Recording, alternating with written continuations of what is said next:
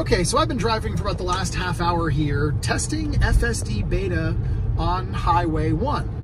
This has been a really fun test to see because there's lots of windy turny roads here, and we're also dealing with having to go through some small towns with people. So yeah, check out and see how well this thing is handling. Car in front of us slowed down, so it did some extra braking. I mean, this is a blind turn that's pretty sharp. Stayed in the lane, no problem.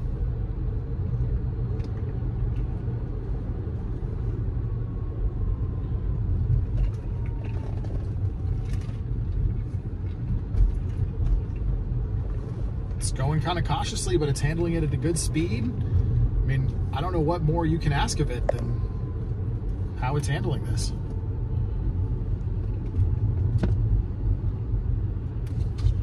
Staying well in its lane.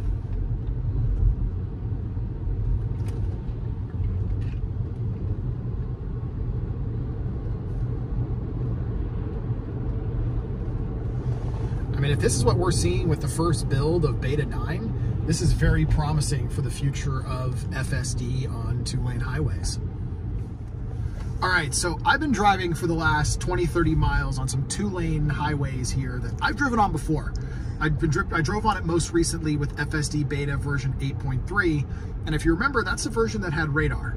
But when I drove this road, I would get some very weird phantom braking that it wasn't happening off shadows, it was happening off other vehicles in front of me.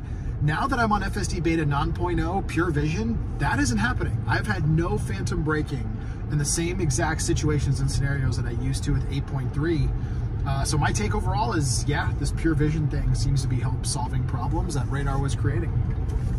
So hey guys, if you want to check out all the other stuff I'm doing besides just testing out FSD Beta, I'm also starting a video series called the Tesla Adventure Series where I'm documenting all the different places that I go to adventure as a guide for you to help show you all the cool stuff that you could go and check out. So if that's something you're interested in seeing, leave a comment and I'll make sure to tag you as soon as the series is published. Thank you guys so much for watching. And if you enjoyed this video, appreciate it if you consider giving a like and hitting subscribe.